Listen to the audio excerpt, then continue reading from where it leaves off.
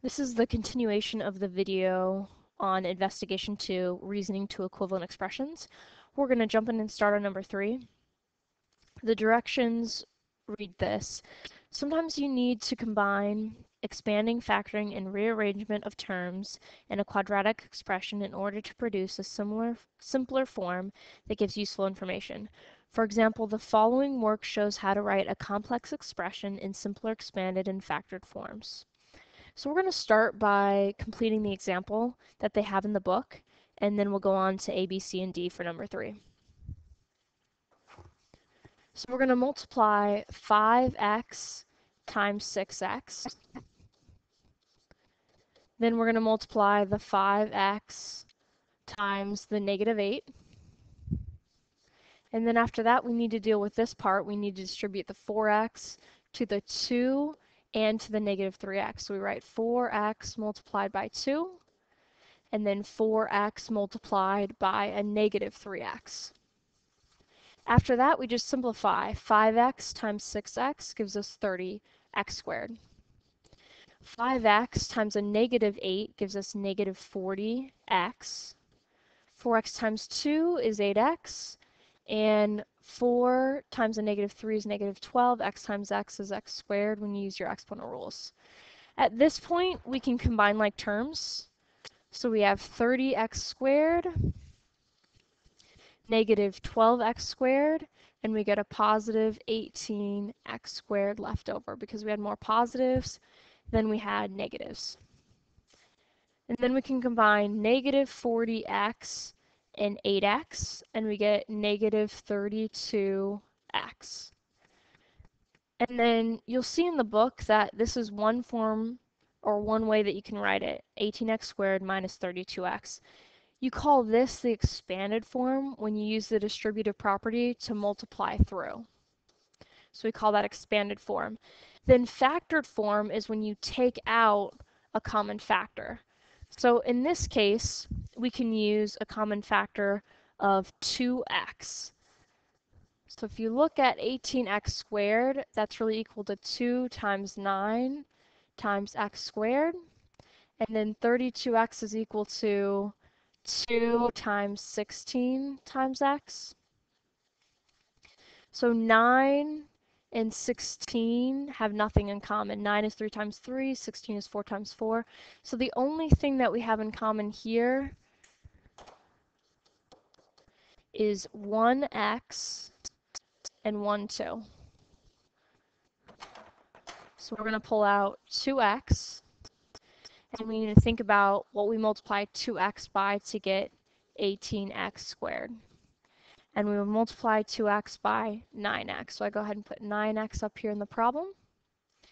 And 2x we multiply by some value to get negative 32x. So 2x times negative 16 will give us negative 32x. So this is the factored form. This was the expanded form and we're going to check the factored form to make sure we get back to the expanded form. 2x times 9x is equal to 18x squared. 2x multiplied by negative 16 gives you negative 32x. So we did that correctly. And that kind of shows you what we're going to do on the next A through D on number 3. So let's start by multiplying the negative 7x to each piece within the parentheses, you need to keep in mind that you multiply everything that's outside the parentheses. So the 7, the x, and the negative symbol by what's on the inside. The negative symbol is what people forget about. So we multiply negative 7x by 4. And then we multiply negative 7x by x. And then everything at the beginning, we can just copy it down. 14x squared plus 3x, and then we add on this whole section down here. I add because I already used the negative symbol to multiply by the 4 and by the x. Now we're ready to simplify. I copy down 14x squared plus 3x, and then I multiply negative 7 times 4, I get negative 28x and then I multiply the negative 7x times x, and we get negative 7x squared. The next step is to combine like terms. So negative 7x squared and 14x squared give us 7x squared. And then 3x and negative 28x are like terms. So we get negative 25x. At this point, we can pull out a common factor. So in this case, if you complete the prime factorization of 7x squared, it would be 7 times x times x. And then of 25 x, it would be 5 times 5 multiplied by x. And you'll see what they have in common is one x factor. So we pull out the x, and then we think about x multiplied by what is going to give us 7x squared. And that would be 7x. Then we write out x multiplied by some value needs to equal negative 25x. So we would put in negative 25, and that would give us negative 25x. So I subtract 25. And we just wrote this in factored form. Factored form is when you pull out a factor. Up here, we call this expanded form. So let's check our work. x multiplied by 7x, does that give us 7x squared? It does x times negative 25, does that give us negative 25x? And it certainly does. So we're ready to go on to the next problem. Letter B. Once again, we use the distributive property. So I take 4x and I multiply it by 9, and then I multiply it by negative 2x. So I get negative x. 4x multiplied by 9 is equal to 36x. 4x times the negative 2x gives us negative 8x squared. And then you tack on the 3x squared at the end. At this point, we're ready to collect like terms. Again, like terms are the terms that have the same variables with the same exponents. So we have a set of like terms here. Negative 8 and a positive 3 give us negative 5x squared. And then we can combine negative x and 36x, we get 35x. In this case, we have more than one factor that the two terms share. When I complete the prime factorization of 35x, it looks like this. And then for 5x would be 5, 5x squared would be 5 times x times x. In common, they share an x factor, and then they also share a factor of 5. So I'm going to pull out 5x. 5x multiplied by what will give us 35x? And that number is 7, so I place 7 up above. And then 5x multiplied by what gives us negative 5x squared is the next part. And that's a negative x. So negative x times 5x will give us negative 5x squared. So I subtract x because this was a negative. And we just wrote this in factored form. And let's check our work to see if we can get back to this expanded form. This is expanded form. So 5x times 7 gives us 35x. That's correct. And then 5x times negative x gives us negative 5x squared. So we did that properly.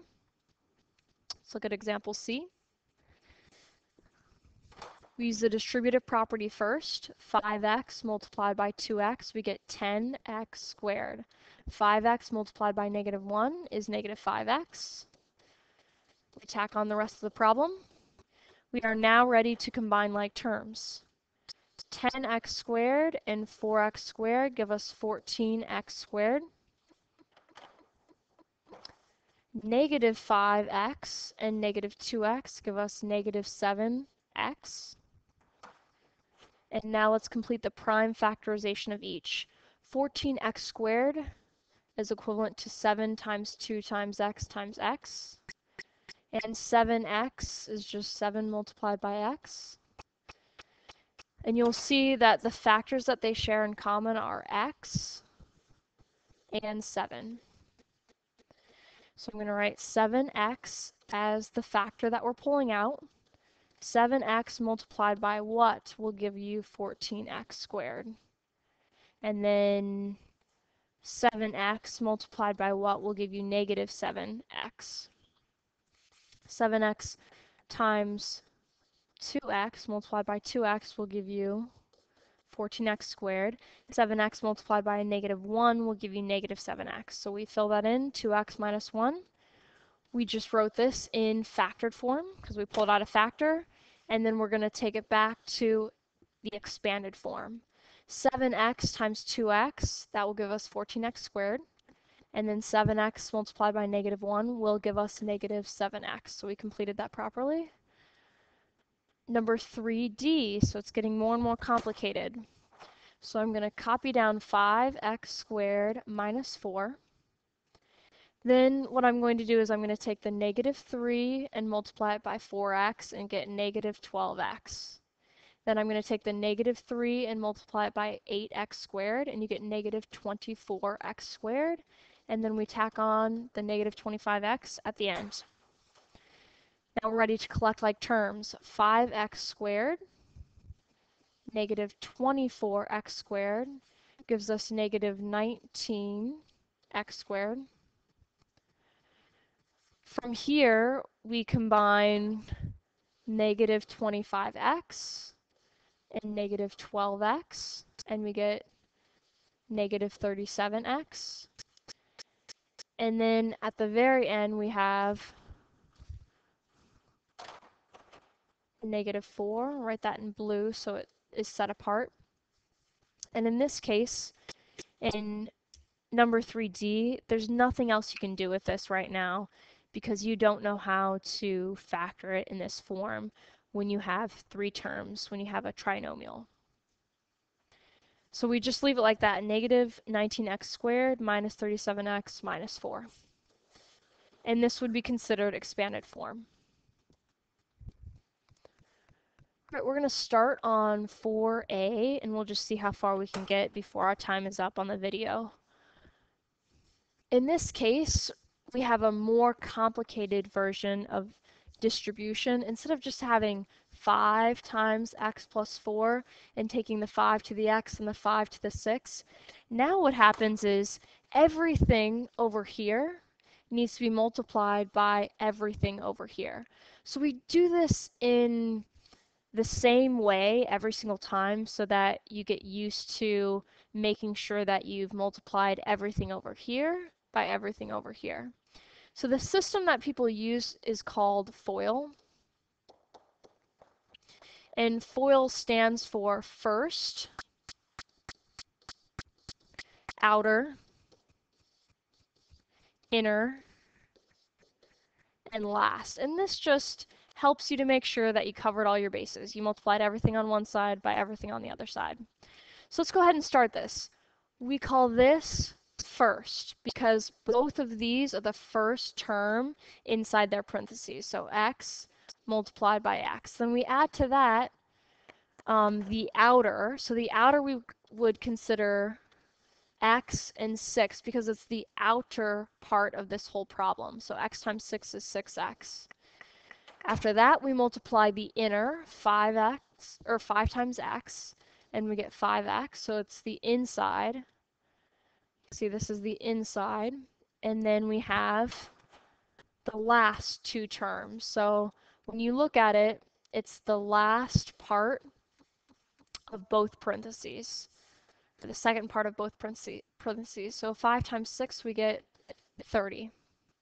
From here we can simplify x times x is x squared. 6x plus 5x gives us 11x. And then we add on to that 30. So we get x squared plus 11x plus 30. And I'm going to leave the rest of 4 for the next video.